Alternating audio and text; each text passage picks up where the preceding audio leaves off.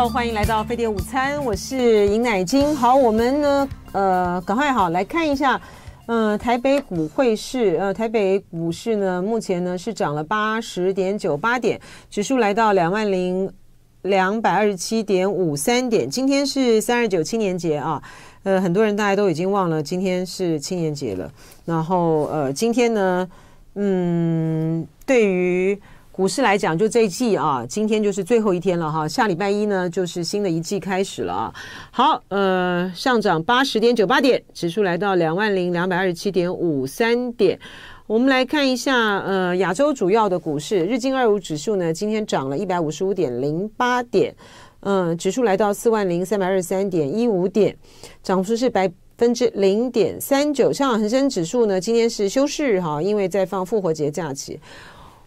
我在香港的时候呢，工作的时候，我就觉得香港的假期其实挺多的啊。它佛诞节也放哈，然后耶，然后复活节它这 Easter 的假期呢，它也会放哈。但是呢，它的呃，它的春节就是农历春节的假期呢，像两岸的农历的春节的假期都比较长嘛啊，香港就比较短，好像放个四天还是三天还几天就就就恢复上班了啊。但它其他的假期好多，我就觉得哎啊，这个也放，那个也放哈。好，我们来看一下上海呃上证指数啊，我们来看一下陆股啊，嗯，上证指数呢目前呢是涨了十四点九零点，指数来到三千零二十五点五六点，呃，深圳成指呢是。跌了二十点七零点，指数来到九千三百二十二点二二点。好，呃，现在在台湾来讲，大家当然最关心的啊，就是宝林茶室啊，这个呃米酵菌酸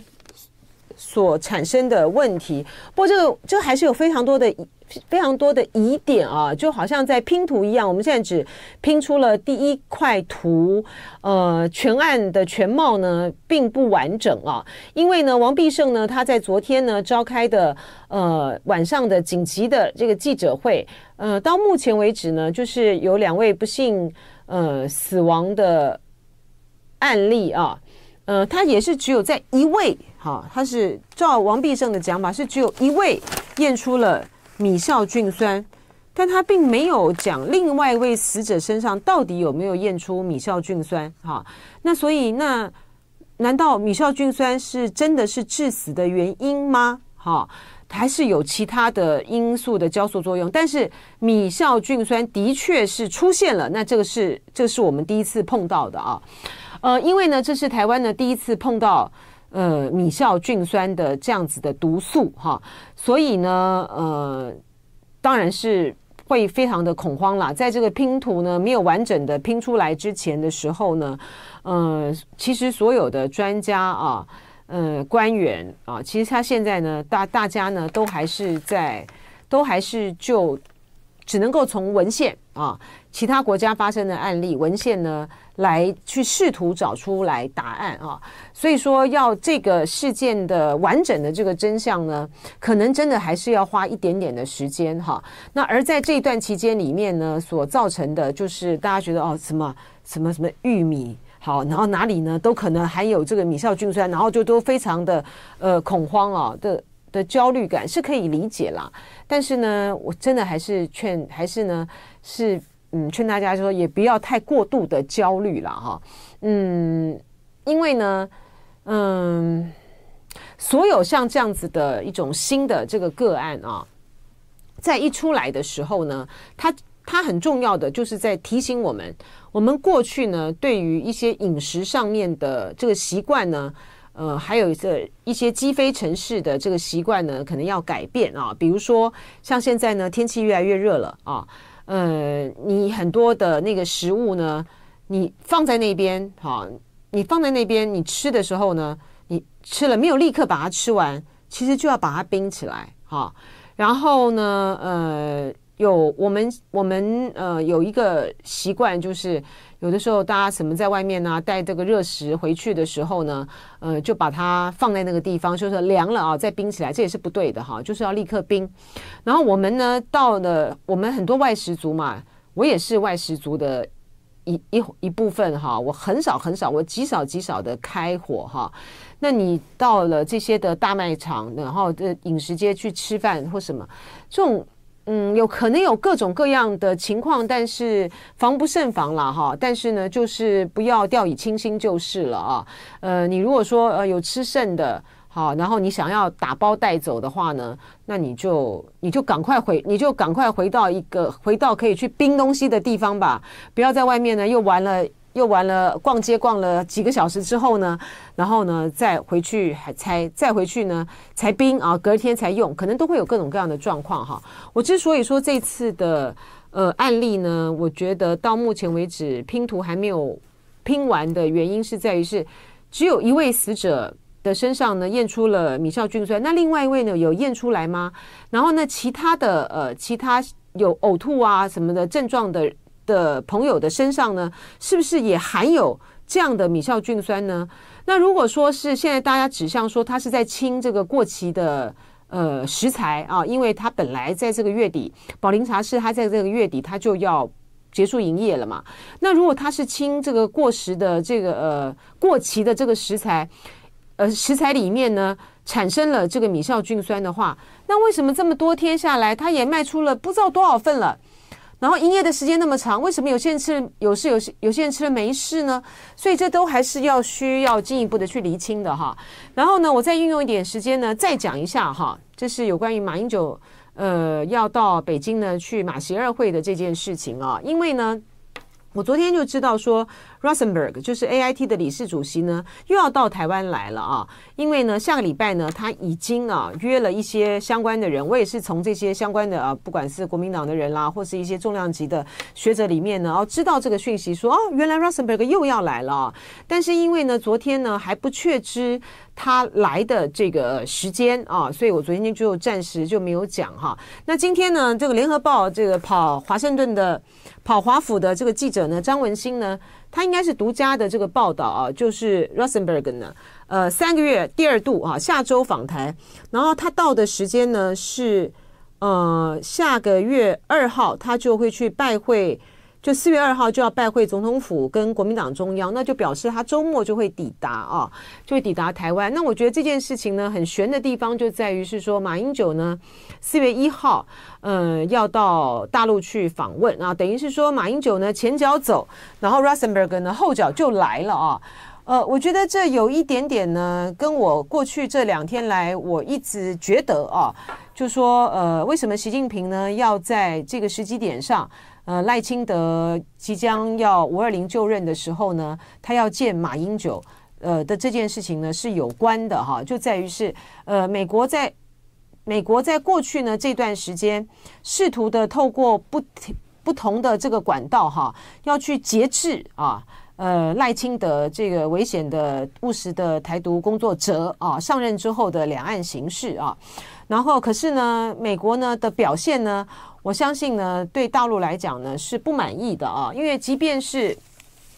呃美国的副国务卿这个坎贝尔啊，坎贝尔都大家都说他是印太沙皇嘛啊，然后他上任了当了这个国务卿之后呢，他固定的啊跟这个北京呢的副外长他们展开有个密切的沟通，他们才刚刚在这个美东时间二十六号呢通了电话啊，也是针对台海形势来去谈论哈。呃，还有南海啊，各方面的这个议题来谈论，有没有这么的急？Rosenberg 呢，就非得要赶着到台湾来，而且蔡英文呢，呃，而且肖美琴也才刚刚去，也才刚刚去美国啊。肖美琴去美国一定会见他的好朋友 Rosenberg，而且甚至于呢，会见到更高层的啊，美国的国安会的或者什么体系的人，我都不意外，因为呃。呃，肖美琴这次去美国，名义上面呢是去收收他的这个行，收拾再进一步的收拾行李啦。但是呢，大家都都都知道，他就是要去对于呃赖清德的，不管是演讲稿也好，或是他未来的两岸的这个局势人事安安排，是要去跟这个美国老爸去报告的哈。在赖在肖美琴才刚去。也见了 Rosenberg，也见了美国的相关的高层，然后坎贝尔也跟了马朝旭也通了电话。为什么 Rosenberg 还要巴巴的要赶在马英九去北京的这段时间的时候，又要到台湾来？哈，我觉得呃有两个重点，第一个就是呢，大陆方面认为在有关于赖清德当选之后的两岸形势。过去呢，透过美国的管道来节制台湾当局啊，来节制赖清德的这一招呢，是已经是不太管用了哈。因为我们看到美国呢，在过去的这一段时间以来，其实一直行塑的，呃，不只是二七五八号决议案啊，讲到台湾地位呢未定，还有就是他们不断的呃印太司令啊，他们在台海之间。所塑造出来的形式，包括智库的谈话，包括才刚刚正在台湾访问的美国众议院的军事委员会的情报暨特种小组的的访问团啊，都强调的都是大陆呢有清台的一有清台的行动和准备。所以你一方面呢希望能够控管两岸局势，可是你一方面呢又不断的去塑造大陆呢是要有要去清台的。这样的决心、行动跟意志的，所以你到底在玩哪一招呢？你今天呢？你如果要去，你今天呢？如果要去节制、控管两岸形势的话，你应该是要叫赖清德和蔡英文政府在这段时间以来不要采取任何挑衅的行动啊！可是不是他们反其道而行？所以既然如此，所以习近平决定要透过马英九自己来讲话，而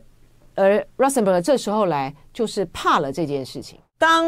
呃大陆呢觉得你的透过美国呢呃来控管这个台湾的这个情势这个管道呢呃因为这样那样的因素的这个影响呢，它其实已经是不是那么管用了，所以习近平呢他就决定呢呃两岸的事情呢他就自己。啊，他要自就是两岸的事情，两岸的人来处理啊，所以呢，他要透过马英九跟这次跟马英九的会面啊，把话呢讲清楚啊。他当然可能就要要释放的呢，其实是和缓两岸局势的讯息。那还有什么？好，我们就要等着来看。而而对于美国来讲，美国为什么担心？美国为什么怕？好，这个呃马习二会啊，嗯，马英九要去。呃，大陆访问的消息，呃，一公开之后，就是肖玉成一开记者会之后呢，其实 A I T 呢就非常的关切啊，而且我相信呢，嗯，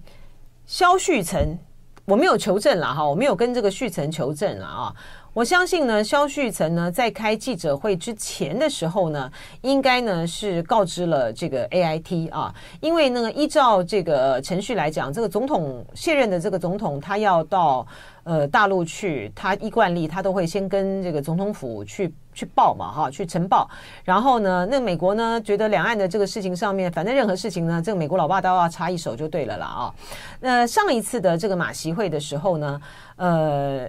夏立言就是他们呢，是在最后的一个时间的时候呢，原本是跟大陆方面呢是讲好了，就是说要去宣布之前的时候呢，他们才会告诉他们会告诉这个呃 A I T 啊。但是因为大家知道我们要走这个程序嘛哈，然后呢，所以呢，这个呃有相关的哈，其实呢，应该就是呢，嗯，那个时候呢，不知道为什么啊，《自由时报》呢独家得到了消息，呃，我。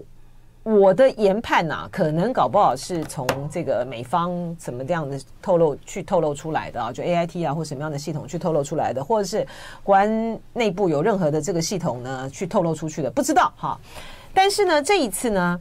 嗯，也这一次呢，在马在肖旭成呢公开哈呃召开记者会宣布马英九要去之前的话，我相信不管是总统府或是 A I T 都已经事前知情了啊，然后。嗯，不确知就是 Rosenberg 会不会是因为针对这样子的一个最新的形势，所以呢，就是马上就安排要再到台湾来来进行这个访问啊，否则的话很不寻常啦哈，因为肖美琴才刚刚去，他干嘛专程干嘛专程来？然后呢，呃，